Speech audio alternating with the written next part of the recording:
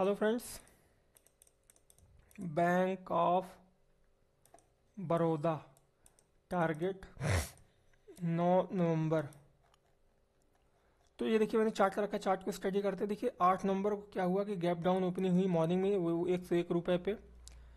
High बनाया, देखिए कितना बढ़िया चार्ट है। मैं इसमें डेली वीडियो बनाता हूँ, मैं फिर से बोल रहा हूँ डेली वीडियो बनाता हूँ। मैंने इसका एक सौ सात नौ रुपये का टारगेट दिया था, एक सौ नौ का, और देखिए किस हिसाब से चार्ट पॉजिटिव है। बढ़िया क्लोजिंग दिया है एक सौ छः रुपये पे और इसमें ऊपर के लेवल के लिए आपको तैयार रहना है।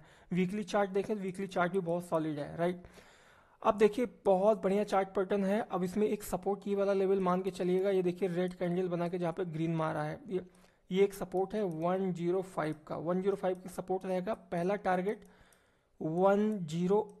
10111 राइट अब 111 की बात करेंगे मतलब एक सौ ग्यारह रुपये का पहला टारगेट वो सस्टेन करेगा तो एक सौ पंद्रह रुपये तक का लेवल इसमें दिख सकता है। तो ये लेवल्स आप ध्यान रखिएगा।